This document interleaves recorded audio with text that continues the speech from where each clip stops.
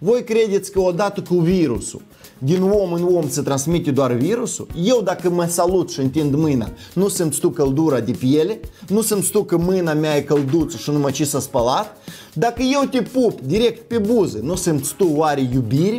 Dacă tu ești copilaș, ai șase ani, băițel, dar eu preot și un pic te mângâi, nu să-mi stu oare ca să crești mare și voinic?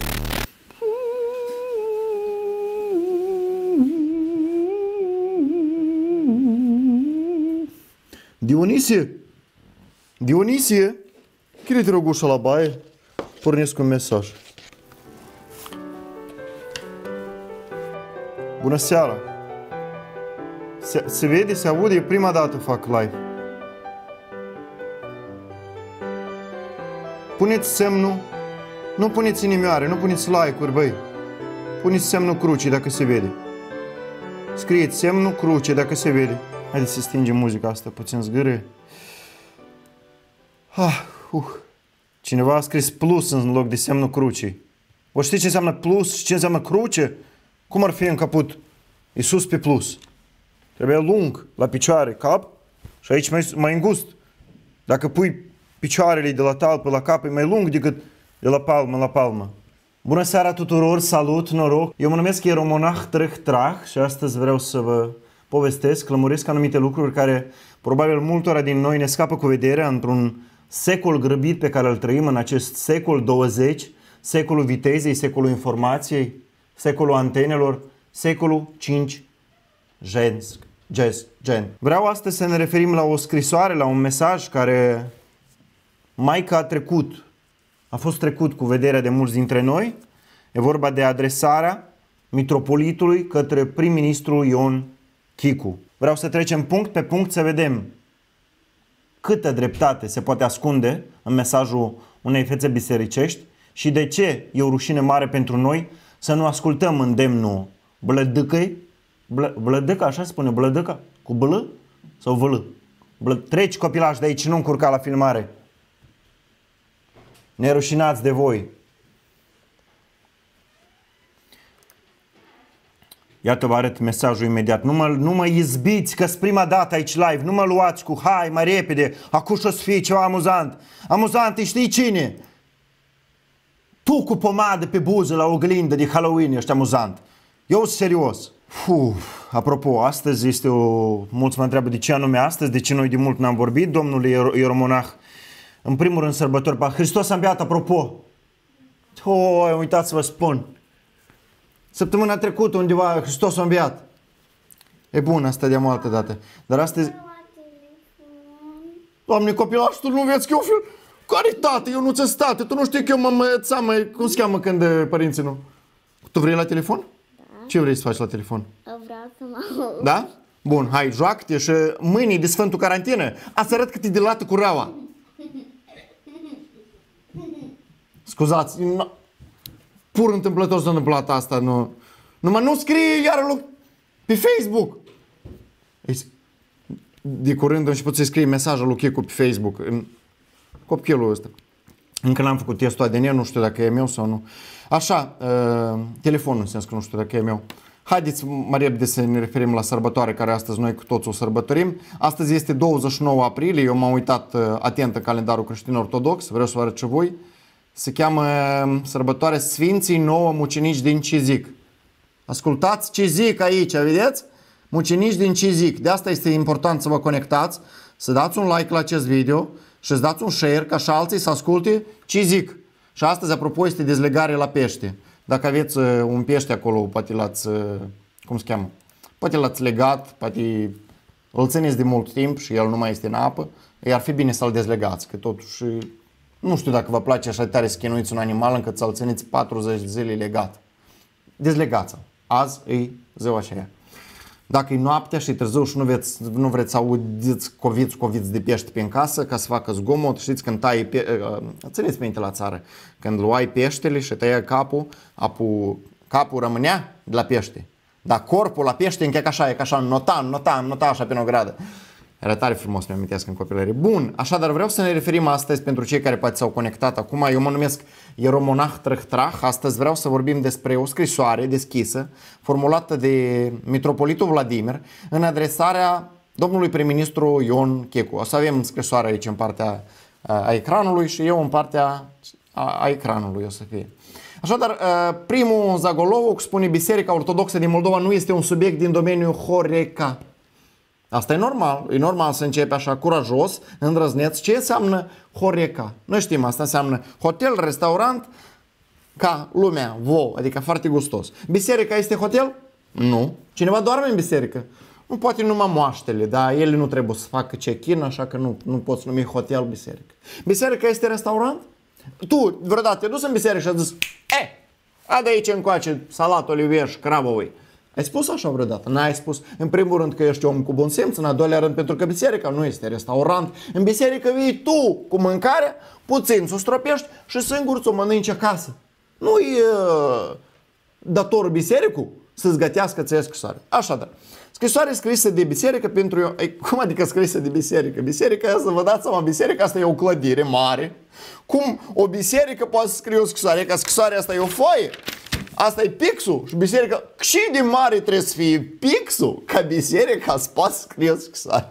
Mai scurt, ia câte o scrisoare. Mergem pe puncte, dar nu o să citim toate că e lungă, lungă, lungă, lungă, lungă, lungă, lungă. Și uitați-vă, ca să vă convingeți, chiar e formulată de Vladimir. Numai că nu știu de ce aici scrie Cruce Vladimir. Noi în sat tot am avut un băiat, îl numea Cruce Ivan, dar el când scria numele de familie, el scria Ivan Cruce, scria cu litere. Dar asta ce, Vladimir ce, nu-i cărturar, nu știe să scrie cuvântul cruce? Ar fi amuzant. Domnule, ce păcate să vârșesc. Mergem așadar pe puncte, sărim deodată în durere. Mesaj pentru prim-ministru. Cu mare îngrijorare constatăm că am fost expuși noi, fețele bisericești și eu, ieromonah, trăh, subliniez, subscriu la acest mesaj, am fost expuși unor drastice măsuri în perioada pascală. Sfinte liturghii săptămâna luminată, fără participare credincioșilor și Paștele Blajinilor, fără acces la cimitire. Drastice, eu sunt de acord. Măsurile într-adevăr erau drastice și erau anume pentru noi, pentru fețele bisericești. Mulți ar spune, hei, era bine să închidem bisericile pentru că este foarte mare risc de infectare. Infectare cu COVID. Risc de infectare înseamnă supraaglomerarea spitalelor, adică o greutate foarte mare pune pe sistemul medical. Serios. Serios. Asta e o durere. Adică greutate pe sistem medical, medici infectați, oameni care uh, decedează, asta greutate? Dar voi v-ați gândit ce înseamnă asta pentru noi? Uitați-vă ce exemplu frumos de networking noi am putut să facem la Mănăstirea Poceaev. Uitați-vă, vă arăt acum, poate cineva din voi a uitat. Au fost, vă să zic, niște moldoveni la Mănăstirea Poceaev. Uitați-vă, a fost o fată la Mănăstirea Poceaev, după asta sora, mama, tata, fică, după asta preotul, bucătăreasa, după asta s-au dus copii, după asta mama și tata la copii de 30 de ani, tot satul, uitați-vă, multe, multe, multe oameni s-au întâlnit cu cineva care a fost infectat. Voi credeți că odată cu virusul din om în om se transmite doar virusul, eu dacă mă salut și întind mâna, nu să-mi stu căldura de piele, nu să-mi stu că mâna mea e călduță și nu mă ce s-a spălat, dacă eu te pup direct pe buze, nu să-mi stu oare iubire, dacă tu ești copilaș, ai șase ani, băițel, dar eu preot și un pic te mângâi, nu să-mi stu oare ca să crești mare și voinic, și tu asta vrei să interzici? A? Mi se pare o nerușinare. Adică la primul punct dăm dreptate scrisorii de la mitropolit. Mergem să zică mai departe.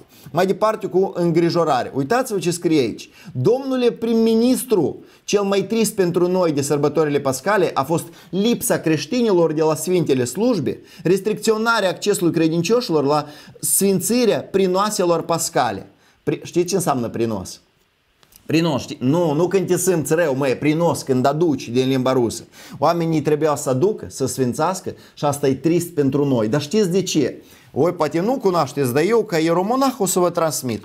În biserică există așa un canon. Înainte de Paște, cu 180 de zile, se face H2O, se adună într-o căldare. Ce înseamnă H2? Două de H și unul de O. Se adună într-o căldare, se face șic, șic, șic, șic, șic la căldare. Căldare se umple și următoarea căldare. Multe, multe căldări cu apă. După asta se ia o pșicălcă și din pșicălcă aceea apa trebuie să fie stropită peste prinos. Nu stropești apa, apa ce face? Băhlește. Dacă apa băhlește, prinosul putea pește. Asta e un principiu normal, dumnezeiesc, deloc păgân, care trebuie respectat. Acum, spune-mi, te rog frumos, cum pot eu să mă rog lui Dumnezeu fără pască ude? Cum pot eu să mănânc duminica dimineața Paște după ce n-am petrecut de la 3 dimineața la 5 dimineața în rând ca să-mi ud haina, pasca și poate ceva din soț care era în spate, el ținea mai multe culeaci. Cum? Nu, eu n-am soț, eu am soție, am încurc. Cum altfel de mâncat? Aici iarăși dăm dreptate domnului mitropolit. Într-adevăr dureros. Și uitați-vă ce comentariu interesant el aduce. Și mai trist a fost că autoritățile statului au acționat cu facilitate în regim prioritar pentru marketuri și magazine alimentare arhipline cu cetățeni, iar biserica a fost pusă la un loc cu supermarketurile de construcție și magazinele eh, și companiile de prestare servicii și agrement. Ia spuneți-mi, vă rog frumos, cum poți compari biserica cu, cu un magazin de construcții? Ce vreodată te-ai dus la biserică și ai zis, dați-mi, vă rog, clei moment? Că s-a descleiat fotoliu? Nu, la biserică nu te duci pentru asta. De asta trebuie bisericile odată cu supermarketurile lăsate deschise. Repet, de ce? În supermarket lumea s-a dus să cumpere mâncare. Te duci acasă, mănânci mâncarea, îți stă în gât osul de pește. De ce îți stă în gât osul de pește? Pentru că l-ai mâncat înainte de 29 aprilie și 29 aprilie, eu deja am arătat. Azi aghe e dezlegare la pește. Dacă aveai să te duci la biserică, dacă aveai chicul să dai voie, aveai să afli că până azi n-ai voie să mănânci os de pește, prostălan. Te-ai închedicat de propriul tău orgoliu, prostie, foame, ai mâncat pește, o rămas osul, dar osul de pește noi știm ce asta e ca ca falanga, stă aici și tu, ajutor, ajutor, ajutor, ajutor, prea târziu, scuze, mori. Nu de COVID, nu de, de propria ta prostie mori. Așa că dăm și aici dreptate. Scuzați puțin, poate mă impacientez. Voi, dacă ceva nu vă place, mă liniștiți mai jos în comentarii. Apropo, am vrut să vă reamintesc, biserica noastră adună bani pentru un mic elicopter. Un mic elicopter de la compania Bell.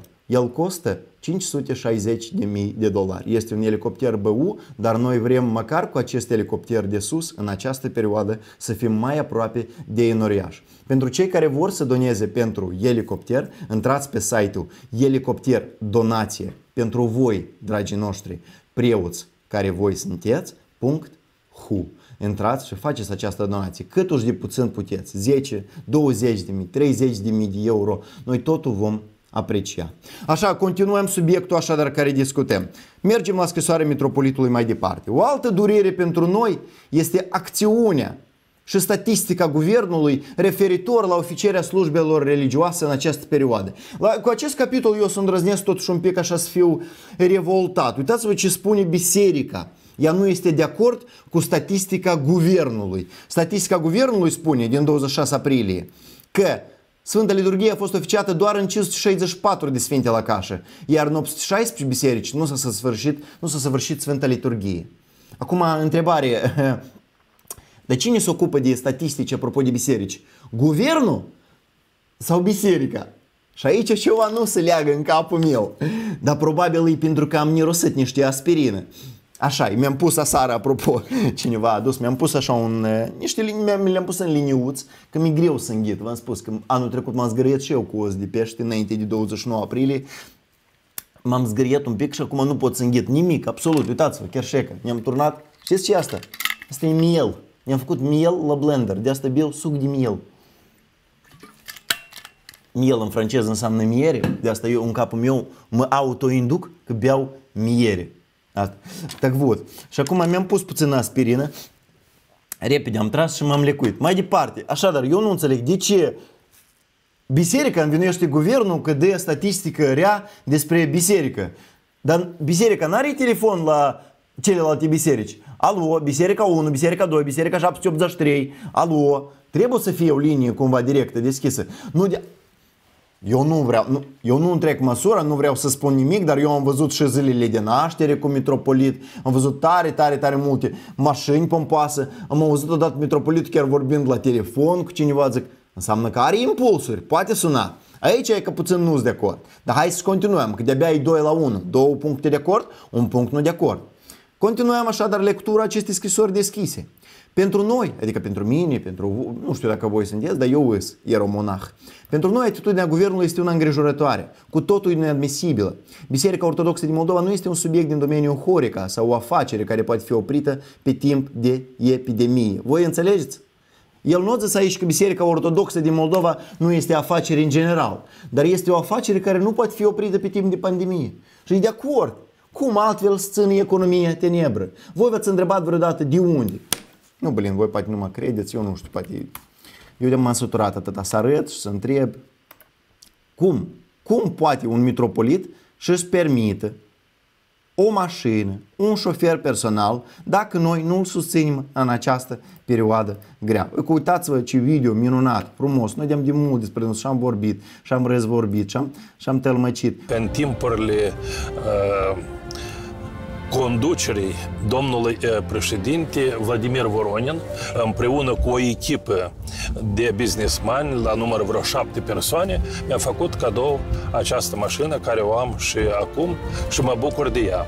Fiind conducător al Bisericii Ortodoxe din Moldova, din 89 până în prezent, nu am procurat pe banii metropoliei nicio mașină. Uitați-vă ce frumusață aici este de, de istorie faină, uitați-vă, uitați-vă. E ca mulți dintre noi probabil visează, hăi, dar când să am oare și eu așa ceva? Ei, cum adică când să ai? Când să lucrez. Uitați-vă ce frumos. Vedeți? Asta e Dacia, doar că din spate au făcut uh, abvivcă. Dacia cu abvivcă arată așa. Voi poate n-ați încercat, dar asta e Dacia cu abvivcă. Și că omul îți arată clar, clar, că doar cu credința poți să ai așa daci, doar cu credința poți așa să reușești în viață. Așa că nu poți să oprești această afacere. Dacă oprești această afacere, voi ce credeți? Că bacul de la Mercedes așa pur și simplu să împli singur de la dânsul? Voi ați văzut vreodată așa Mercedes? Așa Mercedes-uri încă nu s-au inventat. Mergem mai departe, prieteni. Trebuie să lecturăm această scrisoare. Uitați-vă ce informații interesante. Biserica Ortodoxă din Moldova există încă înainte de înființarea statului Republica Moldova și a fost și este pilonul de bază al moralității și bunăstării cetățenilor acestui stat. Moralitate. Noi când vorbim, de exemplu, de așa o, un principiu al modestiei, al neafișării bogățiilor, nu? Voi vă amintiți, bineînțeles, de casa cu trei etaje a episcopului Marchel, vă amintiți acum recent de Dacia Logan cu Abvivca domnului mitropolit, vă amintiți de mulți alți preoți care nu știu cum de zeci de ani de zile, vând obiecte pe teritoriul plăcașilor sfinte, din obiecte, din vânzarea acestor obiecte, un venit vine, dar un impozit pe acest venit există pa, există pa, există pa, există plus, există pa. Și stai și te întrebi, dar stai puțin, dacă tot vinzi, înseamnă că activitatea economică, înseamnă că afacere, înseamnă că trebuie... Nu, nu activitate economică, nu horec, am înțeles. Și este, este, este încă ce? O sursă de hrană spirituală, atât de necesară fiecăruia. Ți-ai foame? Maladeț. Bagă în tine niște cuvinte spirituale de la metropolit care de 30 de ani are același job, Mercedes-uri, BMW-uri, Școde. Biserica prin lege este separată de stat și totodată în afara intrigilor seculare și politice. Vo! Noi am uitat cum în 2016 Mitropolitul Vladimir în mod deschis în a doilea tur al alegerilor prezidențiale, ne recomanda nouă să votăm candidatul care este părinte, care are copii, care este tată și este patriot. Moldova are viitor dacă la conducerea țării va ajunge un președinte patriot și iubitor de neam, consideră mitropolitul Vladimir. Biserica noastră ortodoxă totdeauna a fost și rămâne în pozițiile sale ca candidatul să fie de credință ortodoxă, să fie botezat, să fie cununat, să fie patriot acestei țări. Aha, biserica nu se implică în politică și asta mie îmi place că îi țin de cuvânt. Uitați-vă ce frumos, ce frumos după asta să încheie această scrisoare, prieteni. Având în vedere cele expuse mai sus, scrie penelul lui domnului Vladimir Cruce. Având în vedere cele expuse mai sus, cerem respectuos temperarea atitudinii dușmanoasă și desprețuitoare față de biserică, umilită și îngenunchiată în ultima perioadă. Biserica pe bună dreptate este leagănul dăinuirii. Ce înseamnă în sula mea dăinuire? Dex online, dăinuire. Ce înseamnă leagănul dăinuirii? E ca, eu am auzit cuvântul ăsta, dar stai mai mare, de uit la internetul ăsta. Copii, voi iar descărcați poză cu mitropolitul. Dăinuire, a dăinui, acțiunea de a dăinui, a dura, a continua să existe în timp. Deci, biserica este leagănul continuării existenței noastre. Deci noi existăm, dacă noi să existăm mai ușor, nu ne trebuie cineva să ne leagăne. Dar dacă noi suntem legănați, noi ușor adornim. Dacă noi adornim, noi nu suntem prudenți. Și când cineva încearcă să ne noi nu suntem atenți, de asta e bine cu ochii închiși, adorniți, să ascultăm aceste cuvinte ale preasfântului Domnului Vladimir Cruce. Leagă-nu de inuire noastră ca neam, neam, neam, neam, ați auzit cuvântul ăsta, neam, neam, iar am vorbit de mâncare la început și acum tot. Și prin excelență biserica este celula de bază a societății. Ce fel de organism este această societate încât celula de bază este biserica? Și câte celule are acest organism? Două, trei, un miliard, că dacă un miliard, ce înseamnă biserica de bază, dar celelalte nu de bază. De exemplu, eu aici, e ca în epidermă, scuzați de cuvântul ăsta că e noapte, dar e ca am aici niște celule. Dacă tai, intră infecția, mă îmbolnăgesc, se înflă degetul, apare proi. Ce se întâmplă? Cine e celula de bază? Și unde, în ce parte a organismului se află celula asta de bază, încât noi să o păzim, să o crotim. Dragi prieteni, Sper că mesajul domnului metropolit nu o să treacă cu vederea. Sper că mulți dintre voi o să ia acest video, o să-l descarce și o să-l pună frumos în RAM, că sunt ce apropo de este digitale pe care poți pui video și poză, să faci slideshow. O conectați la un HDMI la televizor și o puneți pe loop să se îmbărtească în continuu mesajul și îndemnul la stoparea umilirii și îngenuncherii bisericii, care fiți de acord, a contribuit cu... Oi, dar știți ce am uitat eu să vă arăt? Uitați-vă ce am uitat eu să vă arăt. Scuzați-vă, rog frumos, din această scrisoare. Nu putem pleca fără a nu arăta asta. Uitați-vă, că asta e foarte important. Mai scurt, aș vrea, poate sunt medici care urmăresc, că ei cu siguranță cunosc mai multe detalii. Așadar, în ultimele două luni, slujitorii noștri, fără a face publicitate, au susținut duhovnicește și material cadrele medicale și persoanele dezavantajate. Deci fără a face publicitate. Eu cred că în cazul bisericii chiar era nevoie de de publicitate. Știi, ca măcar să vezi unde s-a dus tot banul ăsta de zeci de ani adunat, a? Noi am văzut, da? rochii noi am văzut, și unii în cap noi am văzut, mercedes am văzut, șoferi personali am văzut, palate vedem, dar arătați, vă rog frumos, măcar o leacă de publicitate și la actele astea de caritate, nu? Măcar o lecuțică. Și spuneți, vă rog frumos, cât valorează susținerea asta a bisericii pentru care n-ați făcut publicitate? Versus neascultarea față deciziile unei comisii în situații de urgență excepționale în țară. Cât valorează? E ca tu iei sute de biserici și faci slujbe și n-asculți prim-ministru. Pe urmă iei și-l asculți pe Dodon care îți spune țâia înainte de sărbătoarea pascală următorul reassuring thing. A? Și, și de unii rog, iertați, vă rog, situația asta. Restricții. Toți suntem în situație. Înțelegem bine. Toți suntem în situație. Credeți că nouă nu e ușor. De la mine nu ne pune măcar, e vorba. Amez nas și amez nas și amez nas și Aici părinți, e urmă de Ascultați mai bine. Eu e că am vorbit și cu Băieți, asta nu dați în direct. Băieți, asta nu dați în direct. Noi știm că președintele nostru e unul glumeț, așa că hai să ascultăm îndemnul lui invers. Hai să dăm asta, băieți. Ne-am înțeles? Hai să dăm asta cât mai des posibil. Hai să amintim oamenilor cât mai des posibil că într-o țară în care e stare de urgență și prim-ministru vine și anunță că vor fi amenzi și poliția este instruită să acționeze conform acestor dispoziții, decizii ale Comisiei pentru stare de urgență, în asemenea țară există un președinte care cu chiloții plini de favoritism, zici preoților că amenzi nas eu am grăit cu ministru. Какого куя Tudor mai declar stare excepțională. Cacova, cuia tu te lauți că susții cadre medicale și sare în ajutorul celor dezavantajați pe timp de pandemie. Aceste întrebări deocamdată rămân fără răspuns, dar vă rog pe voi mai jos în comentarii să mă ajutați să aflăm împreună. Dragii mei, sunt eu, al vostru, distins, învechit prieten, eromonah, trăh, trah. Vă cuprind cu drag, vă urează o noapte liniștită și aveți grijă când cineva vrea ca existența voastră să fie ca pe un leagăn, nu cumva în una din găurici să vedeți cum vi se zgârie celula de bază a societății. Cu această metaforă vă las, vă îmbrățișez și vă spun Dezlegați, vă rog, odată peștele. V-am spus, azi e 29 aprilie, azi e dezlegare la pește. Dezlegați peștele, că stă să zbate la coadă, yo, mai yo. La revedere! I don't know what you heard about me, but a bitch can get a dollar out of me. No kinda like no perms, you can see that I'm a motherfucking B.I.M.P. I don't know what you heard about me, but a bitch can get a dollar out of me.